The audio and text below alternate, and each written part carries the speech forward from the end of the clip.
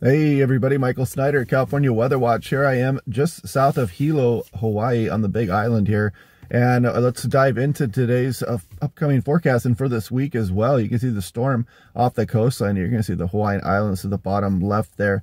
I can kind of move my mouse around on this screen uh, fairly nicely, but you can see the storm here and the state of California is back over here. We've got a storm system coming in Wednesday and Thursday coming up, and then we've got another storm system coming up towards the weekend here. And we're going to dive into those details here as we go through the video this morning, but we've got some big wave action as well, and the National Weather Service is taking notice. Check it out. This is down for Los Angeles National Weather Service, and it's going to be up and down the entire coastline here. And when it correlates with some of these high tides, there could be some enhanced beach erosion possible, as you notice in some of the impacts there also.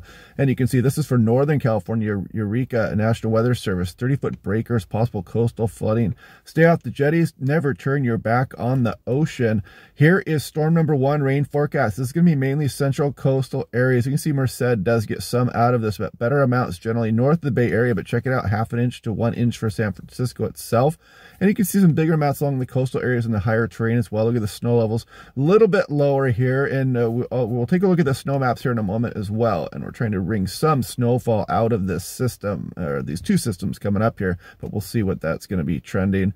And uh, taking a look here, you've got the high surf warning along the coastline. You got some coastal flood advisories. You got a winter weather advisory even out there. We got a wind advisory for the next system rolling in as well. So we do have some active weather incoming here.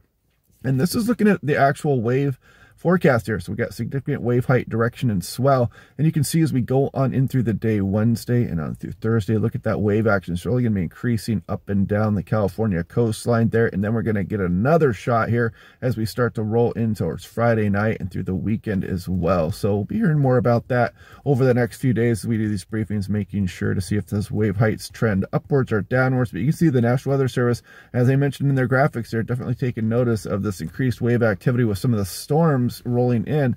And this is that storm out over the Pacific Ocean here, and you can see it out there. There's the Hawaiian Islands, and of course, here's the state of California. So let's put that into motion. And when does this precip start? Well, it looks like about Wednesday morning there for the northern portions of California. It starts to swing down towards the Bay Area late morning and starts to make its way down towards the central coast. We go through the nighttime hours there. And you notice that doesn't bring much of any precipitation for Southern California there, but the next storm system shown there, as you can see across the Pacific Ocean there, and there, again, California, if I put that into motion, you can see that approaching the coastline there as we go through Friday afternoon, Friday night, and then eventually moving down towards Southern California as we go through the day on Saturday morning and late morning about right there. And then we we'll worry about what's going to come at that after lower confidence as always when you look out far out into the forecast now, taking a look at lightning flash density potential here. So we're looking at the state of California, and you can see as we go through the day Wednesday, there is going to be some thunderstorm threat with this as well. You can see the Bay Area kind of targeted there also, maybe towards Sacramento. And you can't roll out a lightning strike or two elsewhere. And you can see some of that trying to move down towards Point Conception, but doesn't really make it too far there.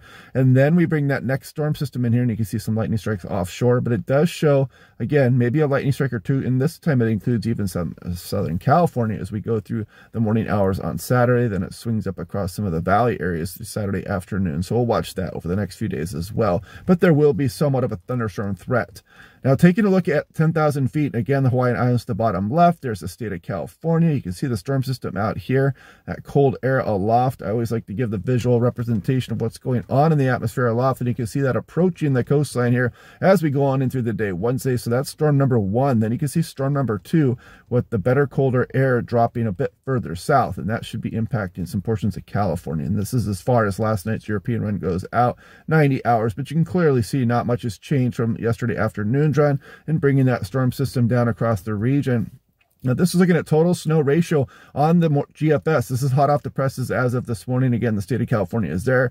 We'll just scroll through here and you'll see that first system rolling in here. Not a huge snowmaker, a little bit better for Northern California there, but you can see kind of pathetic showing there for some of the Sierra Nevada. The secondary storm system swinging in here should be a bit better as you see. Not showing much across Southern California, But, you know, we're, we're going to start having to play catch up here across some of the Sierra Nevada. We are behind the normal for this time of year so far. So I know it is feast or famine usually here for uh, much of California when the snow does fall, but, you know, we're going to have to start playing catch up here sooner rather than later. And this is the European last night's run, the control run. This one goes at 144 hours. There goes Storm System 1, and you can see where it impacts mainly north of Point Conception there, and then the secondary system, better chances for precip all the way down towards Baja California there potentially, and some big amounts starting to show up across the Bay Area and up towards Northern California for these uh, one-two punch of storms coming in here across the area.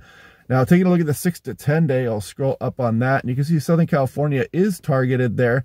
But the GFS is kind of at odds with that, and I'll show you that next here in a moment. But it is still showing up here in the Climate Prediction Center. You can see below average across the Pacific Northwest. And then we go 8 to 14 day, and again, still a nice signal here for a lot of the state of California. But we'll watch that and break it down day by day here as we go. And here is that GFS. I'm just going to scroll all the way out here. There's Storm System 1, Storm System 2. Tries to get down towards Southern California. Not as wet as the European, but still some big amounts across some Central and Northern California. And we scroll out into the future here, and it's not showing a great signal there for Southern California. But we won't get too hung up in that just yet. We'll continue to wait and see and try to break it down day by day and see if things are going to change. But that GFS signal is definitely at odds with the Climate Prediction Center. But anyway, yeah, reporting from Honolulu, uh, Hilo, Hawaii, not Honolulu. We're not going there this round. Uh, Mountain View, just uh, kind of south of Hilo there on the Big Island. Nice sunny day. Uh, not much weather going on out here. But anyway, I hope you guys are having a good day. Um, we'll do this again tomorrow. We'll break down these storm systems again, and I will talk to you guys then.